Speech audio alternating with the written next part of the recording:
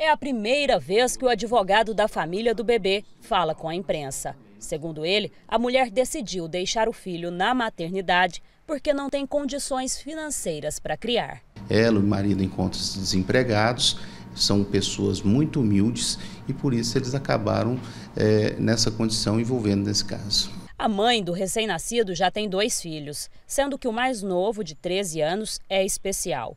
Ela ainda cria o filho do companheiro dela. Ela estava com um filho adotivo no Gol, que havia sofrido um acidente com queimaduras, quando a bolsa estourou. Ela foi para o hospital, para a maternidade, foi encaminhada à maternidade e lá ela teve a criança. Ela acabou chamando o médico e perguntando se, ele, se eles poderiam liberá-la. Né? Ela estava internada, só que o médico disse: Olha, ainda não posso liberar você, mas você não está presa. Então, com isso, ela acabou resolvendo sair para poder ver como é que estava o outro, a outra criança. A cronologia dos fatos é a seguinte: no dia 24 de maio aconteceu o parto. No dia seguinte, dia 25, a mulher pede para sair da maternidade porque quer visitar o enteado. Ela sai mesmo sem autorização do médico. Segundo o advogado, a mulher voltou aqui na maternidade para saber notícias sobre o estado de saúde do filho, já que o bebê do parto foi direto para uma incubadora.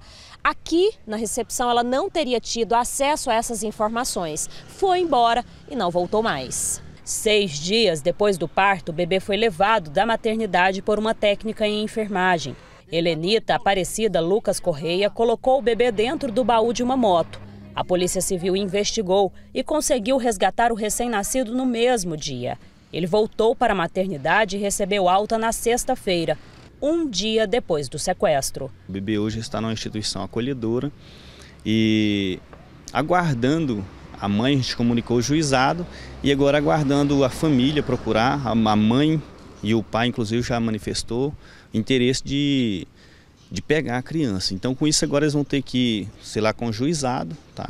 E aí é o juizado agora que vai fazer todo o restante do acompanhamento.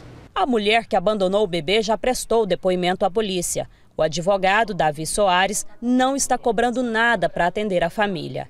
Ele acredita que a mãe esteja com depressão pós-parto. Na conversa que tivemos ontem, eu perguntei novamente se vocês têm certeza que estão, estão seguros de que vão doar a criança.